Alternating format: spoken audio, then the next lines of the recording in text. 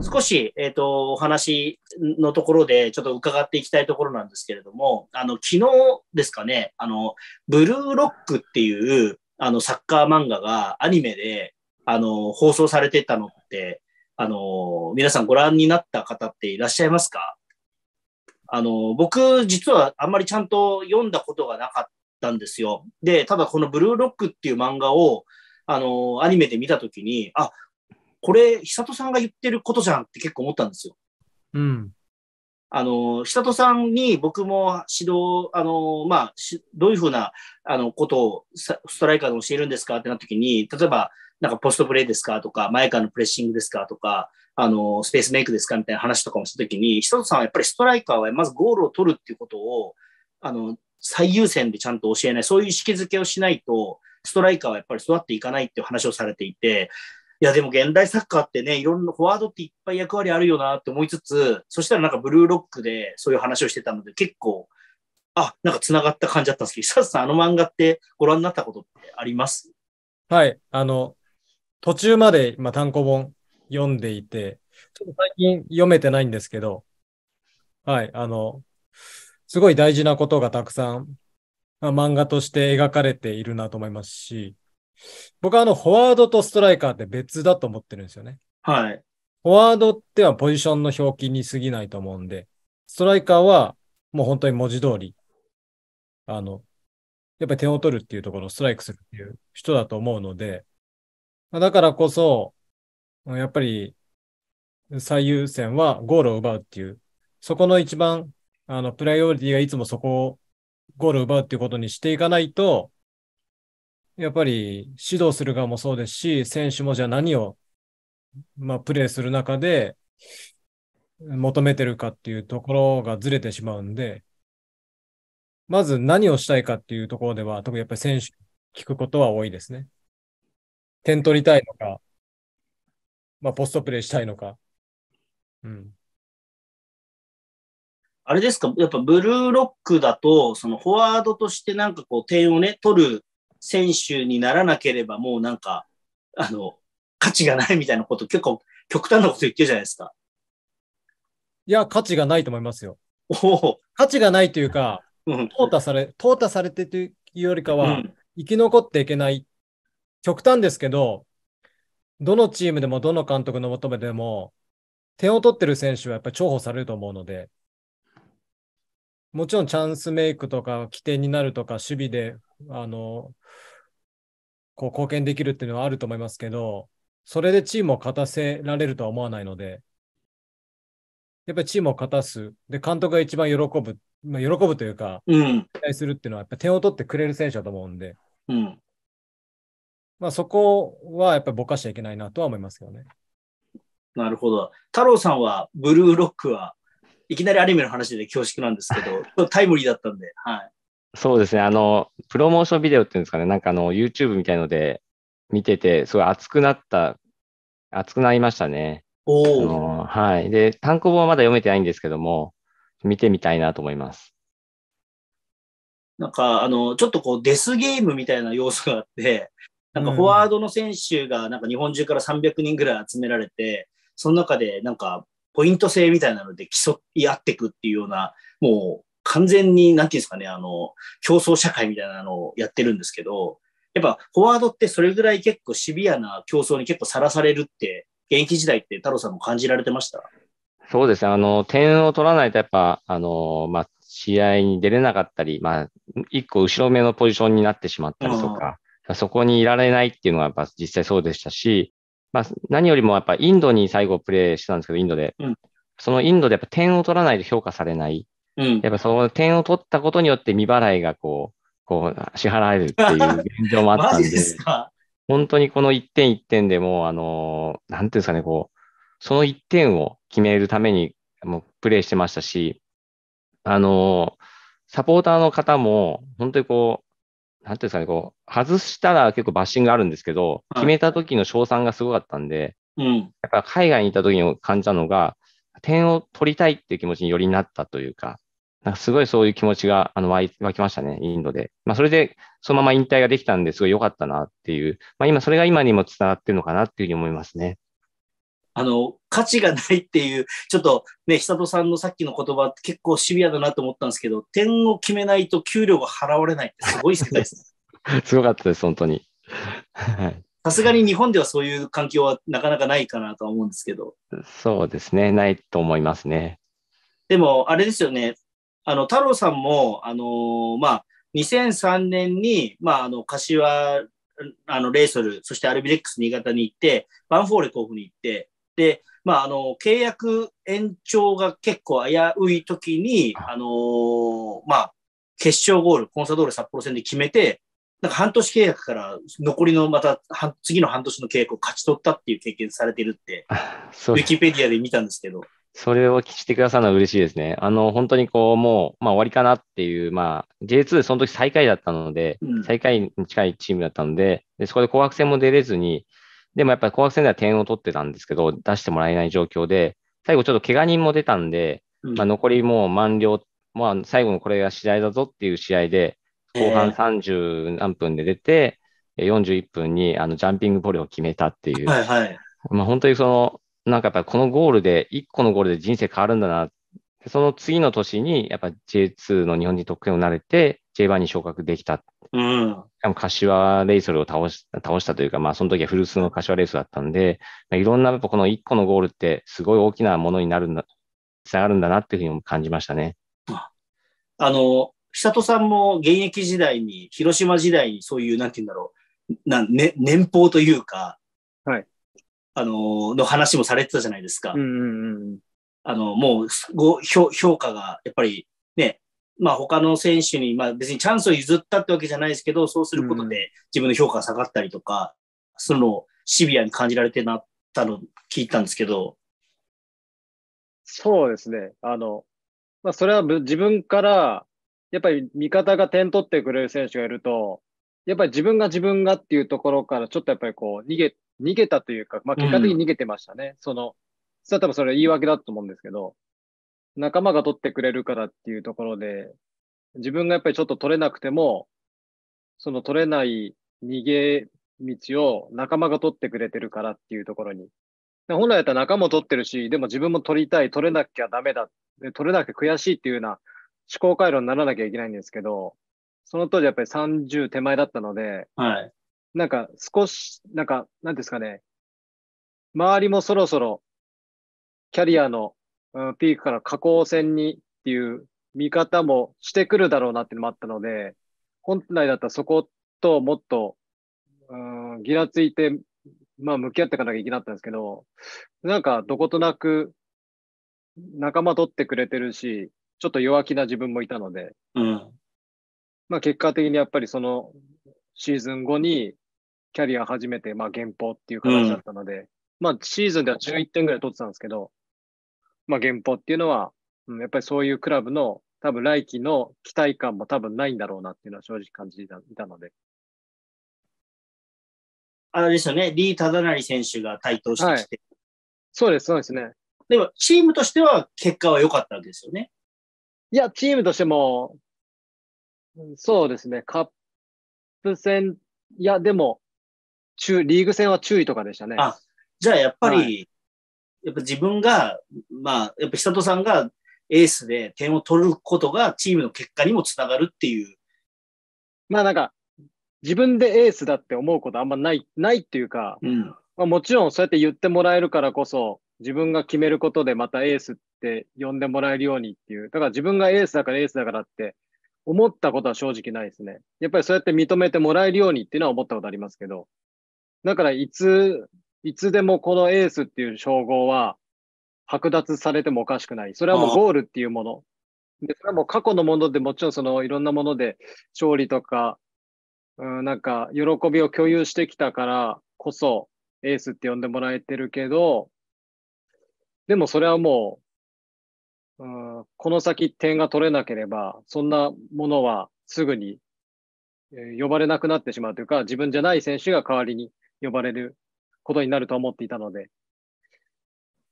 まあそういったタイミングでやっぱり後輩が活躍していて、す少なからず自分が、うん、ゴールを奪わなきゃいけないっていう責任から逃げてたのかなと思います。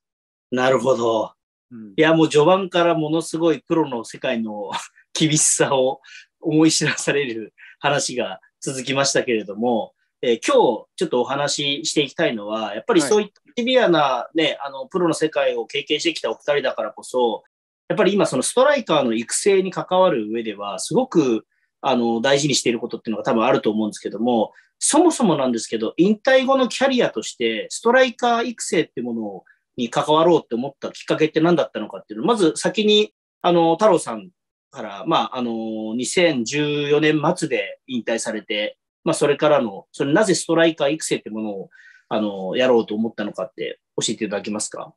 あはい。あの、最初、まあ引退した後にはサッカーから離れたんですけども、まあ、あの、アルバイトもしたことがなかったし、働いたこともなかったので、まあ、本当に今最近やったオールドルーキーの、あまあ、あのままです。ドラマのままで、まあ、警備員も、あの、警備員の、あの、PV、えっ、と、AKB の PV 撮影の警備員をやら,、せてもらったりとか、しかも最後の警備員の時は、榮倉奈々さん、そのオールドルーキーに出てた方の CM 撮影だったんですよ。本当にすごい感慨深く、あの、オールドルーキー見てたんですけども、で、会社員とかもやっていく中で、まあなんかこう自分が人の役に立てないなっていう、立ってないなっていうふうな、すごいもやもやした感じがあって、なんかワクワクできないとかそういうのじゃなくて、人の役に立てないっていうのはすごい辛くて、何かこう自分が人の役に立てることってないだろうかっていうので、やっぱサッカーだなって思った時に、でもサッカーの中でもやっぱゴール決めることだけは、あの、取ってきたかどうかっていうよりは、考えてきたなってすごい思っていて、これだったら、ある意味人に伝えられることあるんじゃないかっていうのも含めて、やっぱストライカーなんかやりたいっていうふうに思った中での、やっぱ、あの、この2030年、えーみんなで育てようワールドカップ得点王ってところなんですよね。自分一人だとどうしてもなかなか、えー生み出せないと思うんですけども、こういう思いを持って、あの、様々なストライカーの方々と、あの、一緒に、そあの、ストライカー育成ができたら嬉しいなって思いで、こういう、あの、テーマにしました。でもそのストライカー育成ってもともとやられてる方ってほとんどいなかったんじゃないですか？そうですね。当時はいなかったですね。いなくて。で、最近すごいこう、このようなあの、注目、ストライカーの注目をされてきているので、すごい嬉しくて、自分自身もやっぱストライカーコーチとして、えー、あの、ブリオベッカと慶応大学とかもやらせてもらってますけども、まあ本当にこう、選手たちがこう、ゴールするたびにすごい嬉しく思うので、まあこの活動ってすごいいいなっていう思いながら、うんあの、活動させてもらってます。まあ、あの、ストライカー、点を、僕らもサッカー見に行ってても、最終的にはストライカーが点を取るかどうかじゃないですか。はい。だけど、も、やっぱりなんだ、サッカー見る上ではね、まあ確かにいろんな側面があるんですけど、意外とそこがなんかこう、重視されてないのかなっていうのは、久人さんといろいろ交流していても思うところで、多分久人さんもそういう思いがあったから、引退後、やっぱりストライカー育成を結構中心に、あの、活動されてるっていう印象があるんですけど、久人さんどういう思いで今の活動をされてますか？いや、まず引退して、そのままクラブとか組織の中に入ると、まあ活動制限されるっていうのがあったので、まあ現役の時からストライカーの指導は、あの、やっていきたいなっていうのが一つ考えとしてあったので、ただ、まあもちろんそれだけではなくて、まあもちろんいろんなことに対して、あの、知ることを、まずキャリアを終えてからやっていきたいっていうのがあったので、まあ、まず引退しすぐやったのが、やっぱりこう、ストライカー調べたいなと思って、まあ一つこうデータに落とし込んだりとか、まあその、この今回フォワードボードスポーツでも本編とかでいろいろあの説明させてもらいましたけど、や、やはりその自分がキャリアを通してトレーニングしていたものが本当の意味で効果的だったのかっていうと、うん中には、うん、なんかもっとこういうふうにやった方がいいのになとか、やっぱり全部が全部いいトレーニングでは決しなかったので、まあだからこそなんかもっと、うーん、やっぱり再現性のあるものとか、リアリティのあるものを、やっぱり育成年代もそうですけど、プロのところでも、まあしっかり落とし込んでいきたいなっていうのがあったので、まあこれ公表されてないんですけど、引退して去年、あの、SC 岐阜のキャンプに、一応ストライカーコーチとして帯同させてもらって、で、まあそこでは、あの、本当に選手たちと一緒に寝食ともにして、トレーニングを、あの、当時のあんま監督から話をいただいて、えー選手たちと、まあ、そういった時間を作りましたし、うん。まあ実際あの、去年は川西選手、今、富山に移籍しましたけど、彼がいて、まあ彼のこれまでの得点のデータを少し洗い出して、どういう特徴があって、どういう課題があるのかっていうのを、まあもちろん、うーん、あの、彼と富樫選手が、あの、少しゴールのデータがあったので、まあそういったところを、あの、全体ミーティングというか、そういった形でちょっとプレゼンさせてもらって、で、もちろんトレーニングもやってっていう形で、まあ、そういった中で少し昨シーズンは、個人的には SC 岐阜を追いかけて、なるほど。ストライストライカーも追いかけてっていう形でしたね。でも、あの、パーソナルでは、これは公表されてますけど、久保建英選手ね、あの、今、そうですね。はい、はい個人指導もされたっていうことで、レアル・ソシエダで、はい。ね、あの、開幕戦で点を取ってっていうので、うん。あれはもうまさに久里さんじゃねえかっていう感じでしたもんね。まあそうですね。そのワンプレーだけは本当に、あのー久保選手と一緒にやったものが一つ形になりましたし、まあそういった中で実際、あのーまあ久保選手からもそういった言葉を、あの、かけてもらったので、うん。まあ、そこは本当一つ、あの、あ指導、指導者というか指導して、あなんか共有したものが、あの選手のこう形になっていくっていうところの、一つのこう、なんていうんですかね、今まで選手時代は感じたことがない、一つのこう手応えっていうのは感じましたね。はい。でも、あの、これは逆に太郎さんにも久さんにも聞きたいんですけど、多分久保建英ってもう日本で一番サッカーうまいわけじゃないですか。はい。はい。テクニックっていう面で言うと。だけど、その久保建英がじゃあ、コーチもね、わざわざそのストライカーっていうものについて習うというか、指導を請うって、逆にあんだけの技術だったら、そうな、習わないでも点取れるんじゃないのかなって思っちゃうんですけど、何が、何をこう学ぼうっていうのになるんですかね、あの、あのクラスの選手というか。いや、あの、やっぱり彼が長く、あの、海外で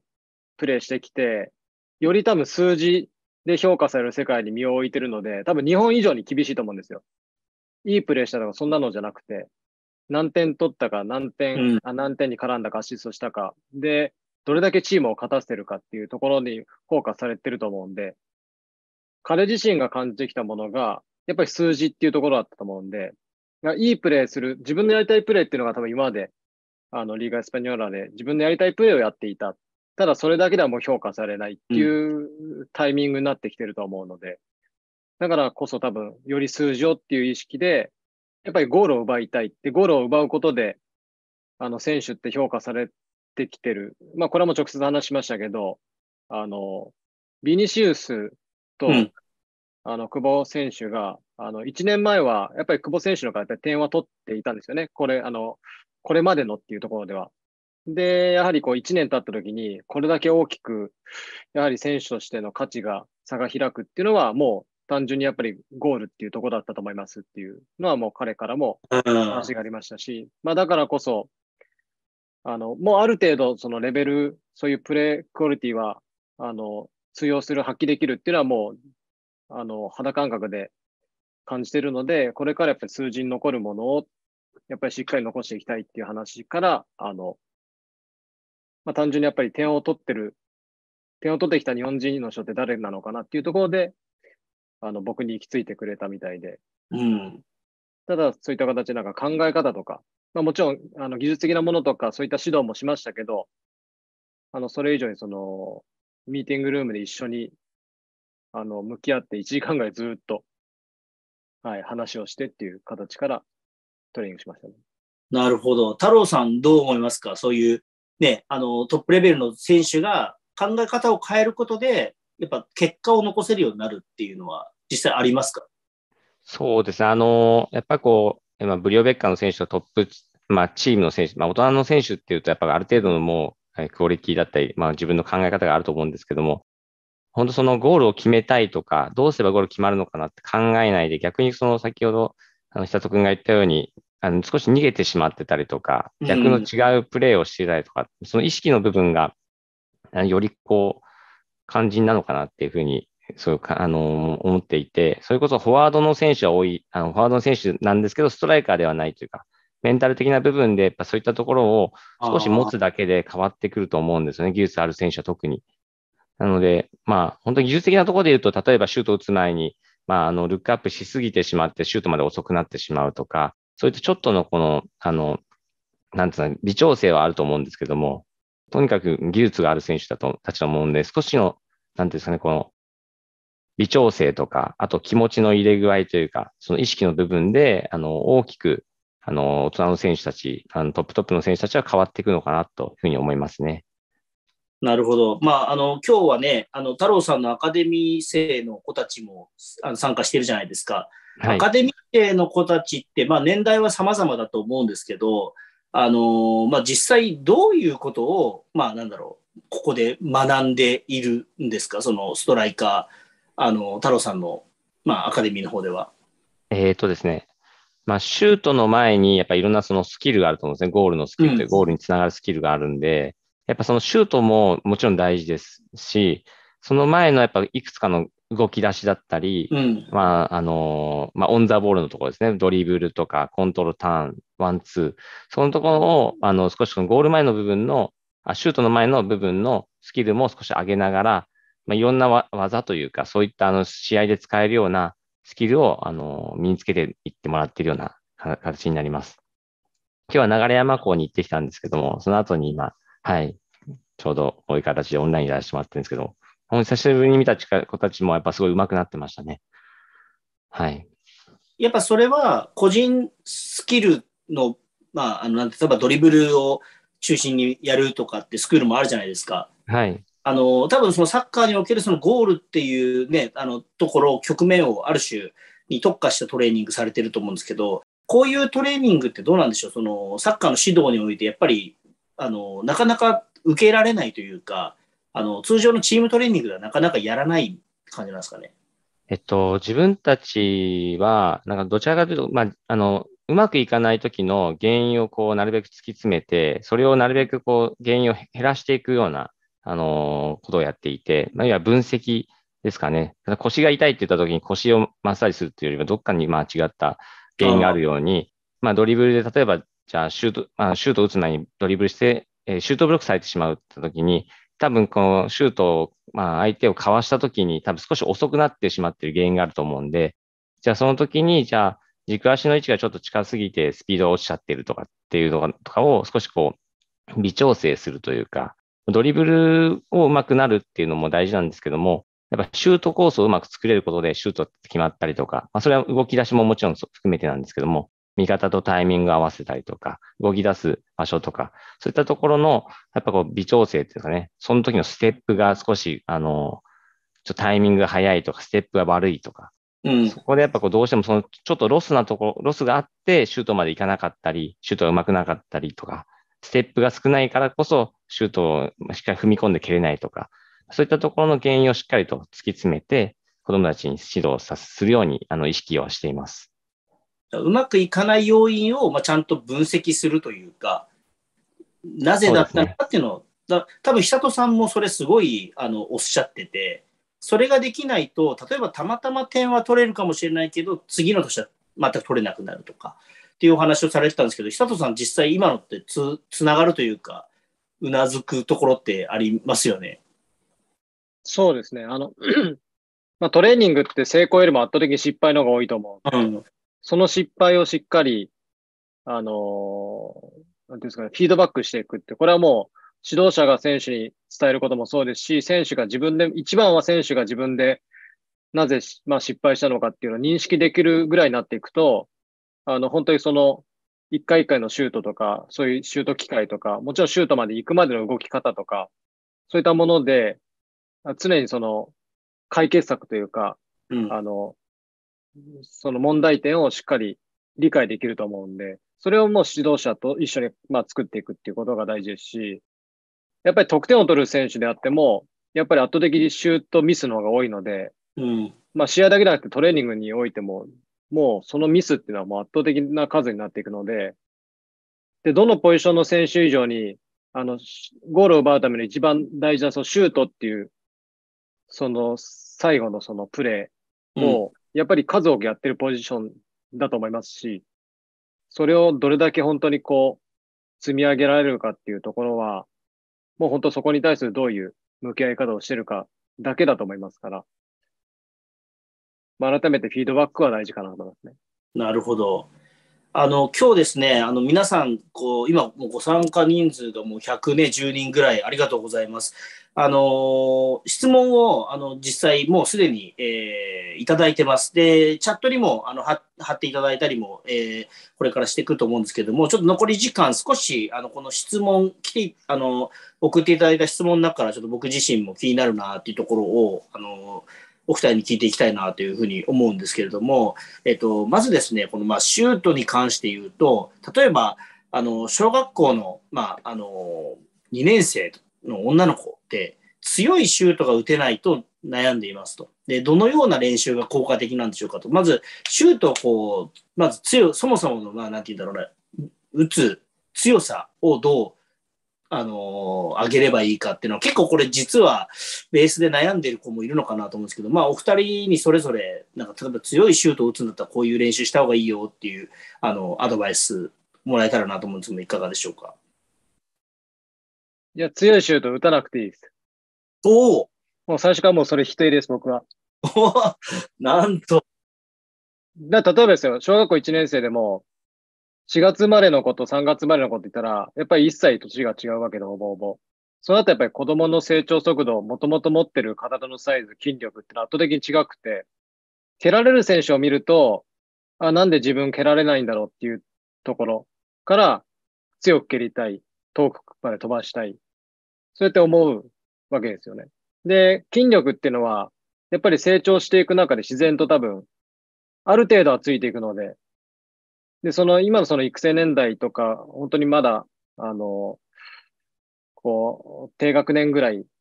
の、あの、小学生ぐらいであれば、あの、もちろんその時には思いっきり蹴るとか、そういうところの当てる感覚っていうのは、もちろん、あの、時には練習作ってあげるのもいいと思うんですけど、それ以上に例えば5メートル狙ったところに行けることとか、そういうことの練習の方が絶対大事で、あの、目的はゴール決めることなんで、うん、あの、強い蹴、強く蹴ったが入るわけじゃないですし、そこは多分、あの、強く蹴ら、蹴る、蹴ることができるっていうのは、あの、ゴールを奪うところから関係ないところ、あの、自分がその気持ちよく、ボールを蹴ってるっていう、その行為だけなんで、あの、うん気持ちよく蹴りたいんだったら、例えばボールを転がしてあげて、それに対して、あの、蹴ることで、ある程度力は伝わりやすいですし、やっぱり止まったボールを蹴るっていうと力がやっぱり伝わりにくいんで、そういう工夫はしてあげることは可能ですけど、じゃあそれでもちろん得点を奪うっていうことは、また話が変わってくるんで。いやー、今のフレーズはめっちゃ刺さりましたね。完全に僕は意表をついて失点してしまった感じですね。まあすいません、なんかちょっと全部否定みたいな感じになっちゃいましたけど、はい。でもまあ、た今、その質問してくれた2年生の女の子も多分強くシュート打てないから決まらないっていう多分どちらかというとそういう悩みだと思うんで、今の言葉はすごい刺さるんじゃないかなと思います。今の、今何何年生、何年生でしたっけ今？に2年生、あ、2年生ですか。あの、ゴール決まらなくても大丈夫です。おはい。と極端なこと言えば。マジですか、ははい。あの、2年生で決められなくても、全然まだ3年生、4年生とか上がっていくと、もっともっとボール蹴れるようになるんで、はい。いやー、久本さんの話、すごい、は なんか、いや、なんかびっくりですね。ちょっと、あの、そう、シュート決まらないでいいっていうストライカーコーチがまさか言う、言うとはびっくりですけど、でもそこにはちゃんとあれですよね。あの、どの年代までにどういうふうに意識をあ、してそうです、いけばいういそです。はい。いやー、ちょっと太郎さんどうですか？シュート。まあ、シュート、本当に今、久人君が言ったことを、本当にそう、あの、今、強く蹴るっていうところよりも、どちらかというと、まあ、ミートをするというんですかね。ボールをしっかりとミートできるようにする。だから、まあ、あと狙ったところにしっかり飛ばせるってところが、まず大事かなと思うので、あと、まあ、体の動かし方っていうかね、シュートを打つときの順順序っていうか、体の流れっていうんですかね。そういったのを大事にしながら、ミートがちゃんとできるようになるっていうのが、まあ最初に大事かなと。強く蹴ろうとして、なんか例えば足を思いっきり振ってやってるやるよりも、やっぱちゃんと横を向いた中で腰の回転も使うとか、まあ、少しちょっとこう、まあ、あの、細かいこと言い過ぎても、2年生だと難しいかもしれないですけども、うんちゃんとお尻を落として踏み込むからこそ、ひあの、蹴り足の膝下が触れるようになったりとか、そういうやっぱ体の流れをうまく作っていかないと、怪我にもつながってしまうんで、その結果、強いっていう、あ強いシュートっていうものを見るより、あの、そこにフォーカスするよりも、やっぱりこう、ちゃんと蹴れてるか、ミートできてるかなとかっていうのを、あの、見た方がいいかなと。ちゃんと狙ったところに蹴れてるかなって見た方がいいかなと思いますね。なるほど。まあ、だから、えっ、と、シュートっていうのは、まあ、そのキックを、の、あの、感覚をちゃんと掴んでいるかどうかっていうところですね。その威力を見るっていうよりは。うん。あと、あと、あの、キーパーの逆をつけ、つけるかなとかっていうところですかね。やっぱ、あの、やっぱゴールを決めるっていう目的なので、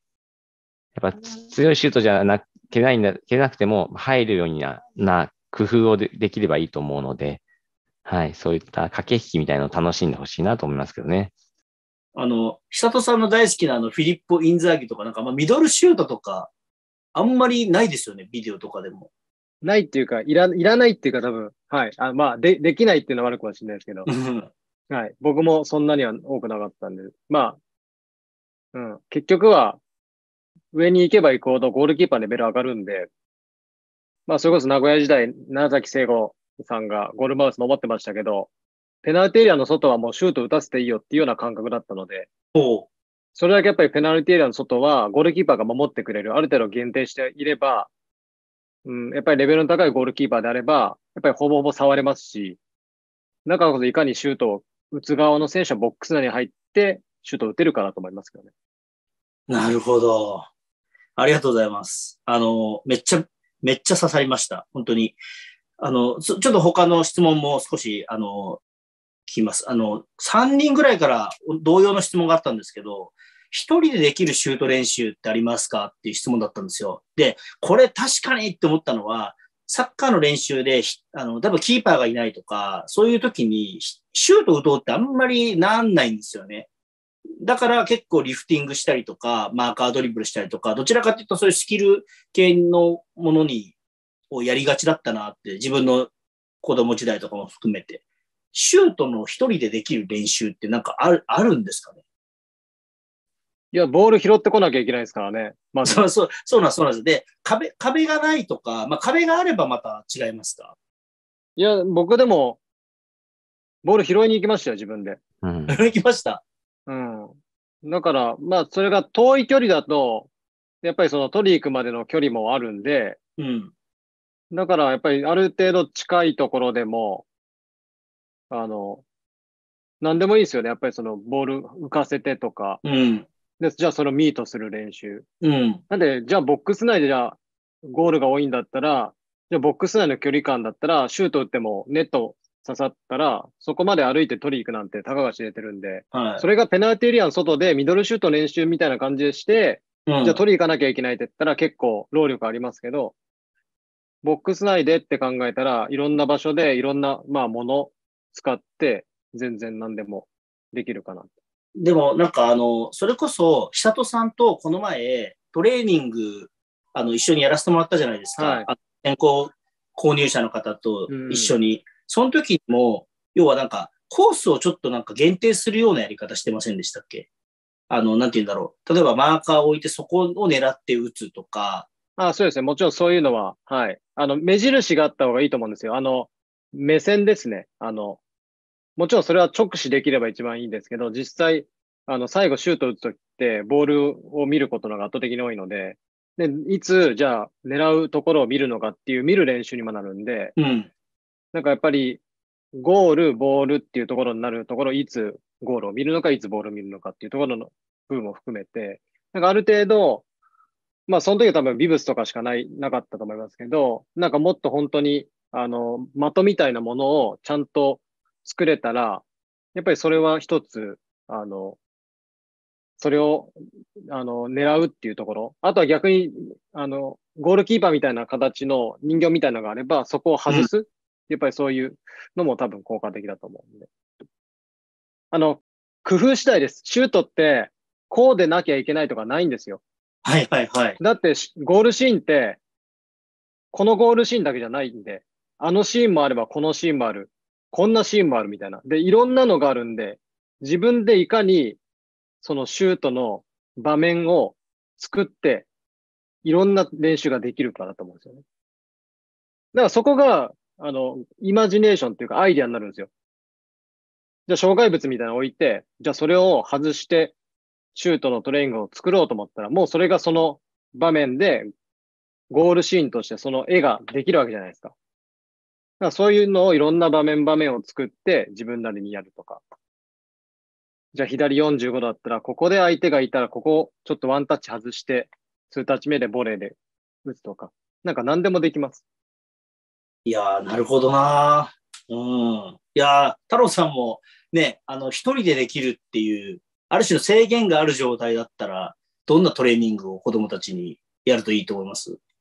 まず自分が子供の時にやったのが、板を、こうなんかこう、釘で、まあ、打って、板前はボードを作って、はいそこに当てるっていうのをやってましマジっすか？た。はい。そうなんかあの、野球のこのネットみたいなのがあって、そこに引っ掛けて、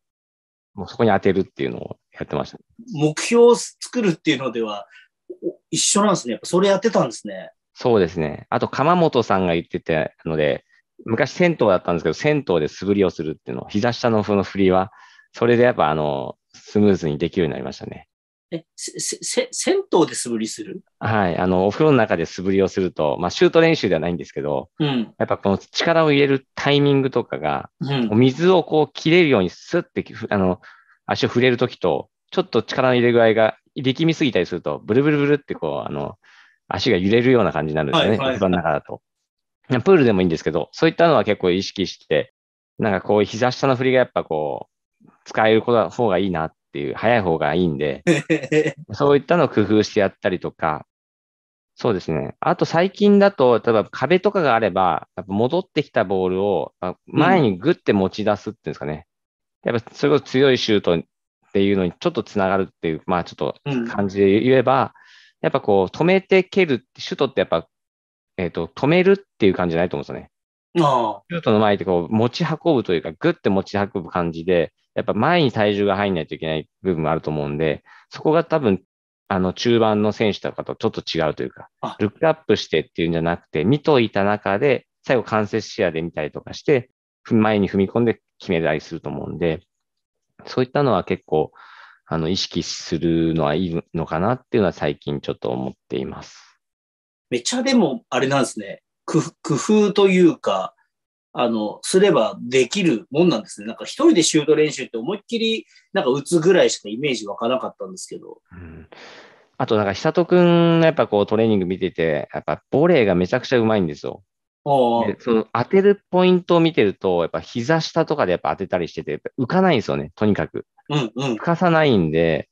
それやっぱヒントになって、やっぱけ例えば普通に自分が前に転がし、あのバウンドさせて、それをあのサイドの、まあ、上の方に行かないように狙うとか、そういったのは結構やるようになり、あの、大学生とか指導していく中でもやるようになって、結局浮かしちゃうんですよね。うん。なんかそれを例えばじゃあ、自分は結構親指をかぶせるキックがなんかあるんですけど、母子球の親指かぶせるキック。はい。はい。ちょっとショートバウンドみたいなのをするときに、こう、親指をかぶせるっていうのがあって、まあ、インステップの場合は膝かぶせたりするますし、高いボールだったら、まあ、小指をかぶせるみたいな表現を言うんですけど、少し斜めに下にカットするような感じで蹴るんですけど、まあ、ここちょっとちっちゃいバウンドの時に、ショートバウンドの時とかは結構難しくて、浮かしちゃう選手が多いんで、それを結構やると結構効果的だったんで、まあ、そういう自分でこれをバウンドさせて、ちょっと前にバウンドさせてとかっていうのはやったりはしましたね。はあ。なんか、めちゃめちゃたくさん、あの、出てくるんで、ぜひね、今日参加しているね、あの、お子さんもそうですし、あの、親御さん、実践してみてください。で、ちなみに、あの、完全に宣伝になるんですけども、あの、久戸さんによる正しいシュート練習という、あの、ものは、実際に実技を撮影して、あの、いや、本当に、ああ、そういう練習あるんだと思ったんですよね。やっぱ、ストライカーの練習ってこうだなと思ったのは、それこそ、決められたシチュエーション、左45度からカットインして打ちますとかじゃなくて、ボールがなんかこう、どこから出てくるかわかんないボールにパッて反応して打つ練習とか、あの、なんだろう、不規則な変化をするボールを打つとかっていう、そういう変化のに対応するような練習をすごい佐藤さんやられていて、なんか、一見なんだろう、こう、邪邪道というか、な感じに見えるんですけど、あ、でもこれが本当に試合の中では、そんな綺麗にかっこよく決まるシュートってあんまりないじゃないですか。なんかこぼれ球が出てポンって蹴るみたいなのがあると思うんで、その反応をいかに早くするか、いかにできるようにするかを練習しておかないといけないんだなって感じたので、ぜひ皆さんには見ていただきたいなと思います。はい。あみんなあれなんですよ。やりたいことしかやんないんですよ。あの、シュート練習って。ははは。自分が気持ちよくなりたいからシュート練習してるんで。はい。で、試合中そんなことないじゃないですか。確かに。自分が気持ちよくシュート打つことなんて、シーズン中あって2回3回ですよ。はいはいはいはい。そのためにずっとその時間やってたら無駄っすよね。いやー、すごい。いや、でも、すっごいそれわかります。あの、点がなかなか取れないストライカーのかを見てると、自分の型に持ち込むことにあまりにも固執してたりして、うん。で、相手も当然それは読んでくるから、うんやっぱりブロックされたりとか、なかなかうまくいかなかったり、でもそれをひたすら必要にやり続けるみたいな選手多いなとは思います。てか今日はもうなんかめちゃめちゃ学びが すごい。あの、チャットからも一問だけちょっと質問受けたいです。あの、まあ、トレーニングでこういったね、今お話あったように、あの、意識していることって、試合中でも意識をしてるんですかっていう。試合の中ではどんな感覚でプレーしてるのかっていうのをお二人にちょっと伺い、最後に伺いたいんですけど。え、それもでも相手がいることで、どういうことですか？その、要は、じゃあ、こういうふうに動き出そうとか、ここでボールにしっかりミートしようとか、こういう蹴り方をしようみたいなところを、トレーニングでは当然、さっき太郎さんも言ってたように、かなり意識的にやってると思うんですけど、試合になった時って、もうもはやなんか無意識でやってるような状態なのか、それとも、こういうふうにやろうやろうっていうのを頭の中で描きながらやってるのかって、どっちなのかな？あ、でも、練、僕はその練習でやってることがそのまま同じです。だから、別に変わらないですね。うん。なんか試合になったらそれが無意識になるかっていうとそんなことないですし。だから練習でやってるのが同じ感じで、なんか本当か一緒です。どっちかって言ったら。あ、そうなんですね。はい。まあもちろんその判断スピードは練習以上に速くなきゃいけないんで、まあそこの分ではより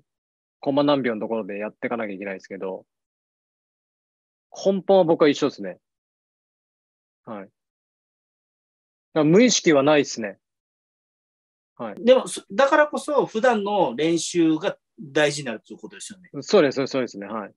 なるほど。太郎さんどうでした？現役時代。えっと、現役時代も、あの、自分はどちらかというとドリブル一辺倒だったんで、で、30に超えてから、あ、こういうことだったんだな、サッカーっああ。て言って、言ってサッカーの面白さがやっと分かったみたいな動き出しだったりとか。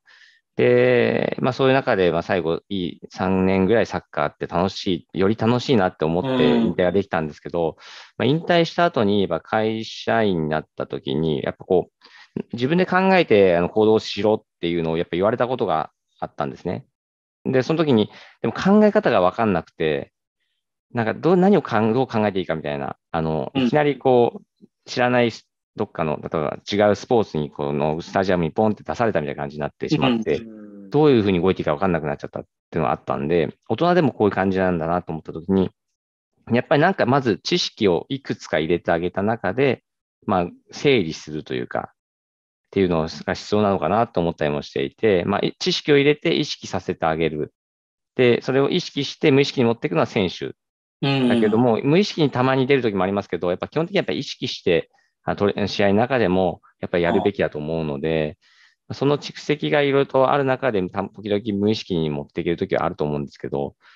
やっぱ本当にそういったの部分は、まあ、特に育成年代に関しては、やっぱその部分を大事にして、まあ、ゴールを整理してあげるというか、まあこの瞬間の、例えばシチュエーションの時は、まあ、いろんなのあるけども、これとこれとこれっていうのがベースであるけど、たまに自分がやるんですけど、まあ、カレッカっていう選手が昔いたんですけど、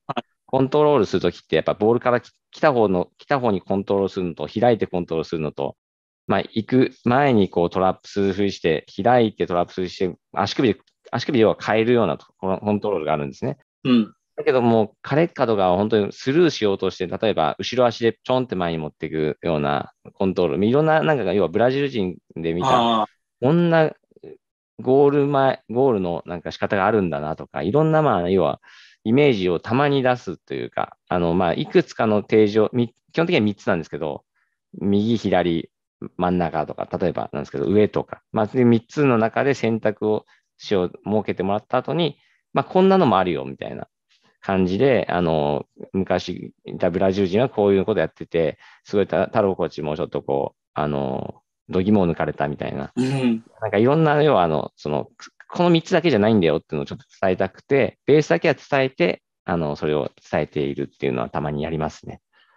なるほど。いありがとうございます。本当にめちゃくちゃ勉強になりました。なんか僕、なんか明日からストライカーになりそう、なりたいなって思う。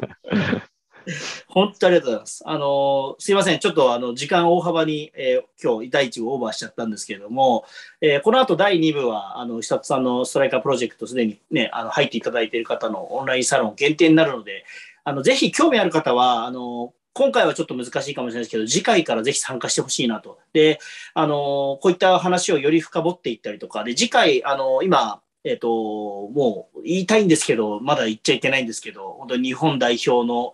ワールドカップにも出るんじゃないかなっていうストライカーのあの方が、えーゲストで、ぜひ、久戸さんと話したいということで来てくださる予定なので、あのーまあ、さっき名前出た選手とはまたちょっと違うんですけど、あのー